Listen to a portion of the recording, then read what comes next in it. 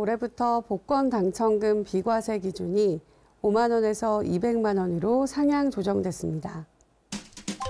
따라서 올해부터 복권 200만 원까지는 당첨 시 세금 없이 모두 수령할 수 있으며 그동안 5만 원에서 200만 원 사이의 복권 당첨금 수령 시 과세를 위해 주민등록번호 등의 개인정보를 제공해야 했던 반면 올해부터는 은행을 방문해 당첨 복권만 제시하면 당첨금을 수령할 수 있습니다. 한편 이번 개정은 올해 1월 1일부터 적용되며 지난해 복권이 당첨됐어도 올해 1월 1일 이후 청구한다면 비과세 혜택을 받을 수 있습니다.